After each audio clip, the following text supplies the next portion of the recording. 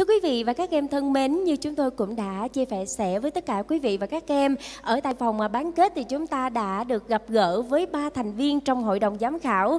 À, những cô chú đã cùng đồng hành với các bạn à, thí sinh à, lắng nghe phần dự thi của các bạn, đặc biệt là đã đặt ra những câu hỏi cũng như là quan tâm và chia sẻ đến phần dự thi của các em tại vòng bán kết.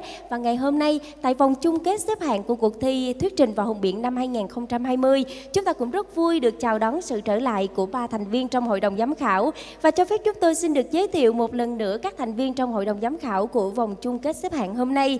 Xin giới thiệu ông Nguyễn Văn Tâm, giám đốc công ty trách nhiệm hữu hạn tư vấn du học và dịch vụ đào tạo ANT.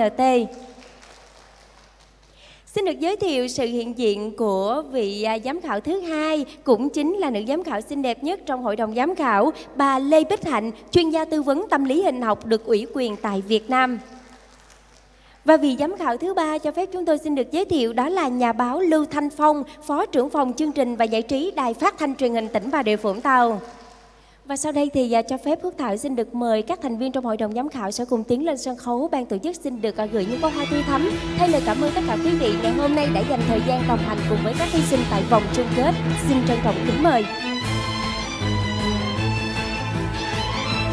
Và cho phép chúng tôi cũng xin trân trọng giới thiệu và kính mời đồng chí Lê Văn Minh, tỉnh ủy viên bí thư tỉnh đoàn Bà Rịa Vũng Tàu. Xin được mời bà Nguyễn Hồng Nhung, giám đốc học viện MC Plus sẽ cùng tiến lên sân khấu trao hoa dành cho các thành viên trong hội đồng giám khảo.